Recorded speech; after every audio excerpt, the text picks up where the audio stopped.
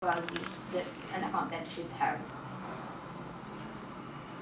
Um, I, I think it's it's about yeah honesty is a- it's a it's a uh, it's a big it's a big thing for an accountant.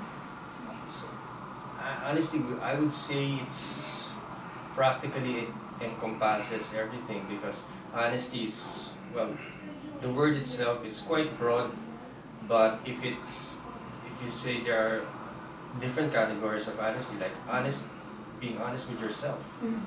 and your like your your